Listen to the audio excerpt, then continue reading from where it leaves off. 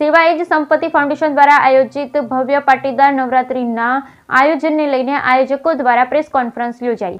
મોરબીમાં સેવાયત સંપત્તિ ફાઉન્ડેશન દ્વારા ધુંધડા રોડ ઉપર રામેશ્વર ફાર્મ ખાતે ભવ્યથી ભવ્ય પાટીદાર નવરાત્રિનું જાજરમાન આયોજન કરવામાં આવશે અજયભાઈ લોરિયાએ પત્રકાર પરિષદમાં જણાવ્યું કે આ સમગ્ર આયોજન શહીદ પરિવાર અને માધવ ગૌશાળાના લાભાર્થી કરવામાં આવ્યું છે. એકવીસ જેટલા વીર શહીદ જવાનોના પરિવારજનોને લઈ આવવામાં આવશે. તેમના આવવા જવાનું ખર્ચ પણ આ નવરાત્રિ મહોત્સવ દ્વારા ઉઠાવવામાં આવશે. આ ઉપરાંત દરેક પરિવારજનોને રૂપિયા એક લાખની સહાય આપવામાં આવશે, જ્યારે બાકીનું ફંડ ગૌશાળાના લાભાર્થે ખર્ચ કરવામાં આવશે. નવરાત્રીમાં જેમાં આ વખતે એક નવો નિયમ કરવામાં આવ્યો છે. દરેક ખેલૈયાઓ કપાળે તિલક કરીને જ આ નવરાત્રિમાં પ્રવેશ આપવામાં આવશે. વધુમાં તેઓએ કહ્યું કે હાલ હાર્ટ એટેકના બનાવો વધી રહ્યા છે, ત્યારે તકેદારીના ભાગરૂપે ખેલૈયાઓ માટે એમ્બ્યુલન્સ અને મેડિકલ ટીમ તૈનાત રાખવામાં આવશે. ઉપરાંત તેઓ કહ્યું, નવરાત્રિ મહોત્સવ પંદર દસ બે હજાર તેવીસથી શરૂ થવાનો છે. તે પહેલાં ચૌદ દસ બે હજાર તેવીસ વેલકમ નવરાત્રી યોજાશે. આ નવરાત્રિ મહોત્સવમાં એન્ટ્રી ગેટ ઉપર દીકરીઓના હસ્તે તમામ ખેલૈયાઓના કપાળે તિલક કરી આપવામાં આવશે. તિલક વગર કોઈ ખેલૈયાઓને એન્ટ્રી આપવામાં આવશે નહીં. વધુમાં તેઓએ ઉમેર્યું કે અહીં બાળકો માટે ગેમ ઝોન પણ છે જે નિઃશુલ્ક રહેશે. Bureau report Ashokbhai Kharachariya cameraman Mahesh Kharachariya Morbi. આ નવરાત્રિનું આયોજન છે. કયા પ્રકારનું આયોજન છે? શું વિશેષતા છે? પત્રકાર મિત્રો આજે પત્રકાર પરિષદ યોજવાનું રીઝન એક કે આ નવરાત્રિ વર્ષોથી થઈ રહી છે.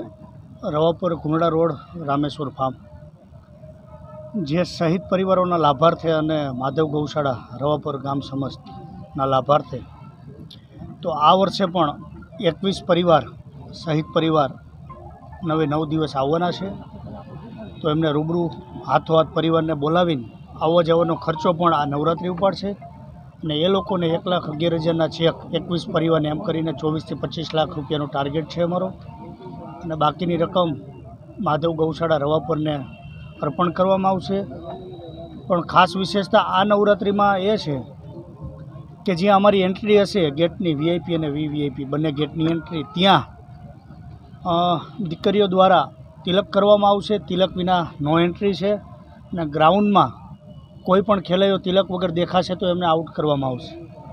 કોઈને એન્ટ્રી આપવામાં નહીં આવે તિલક વગર.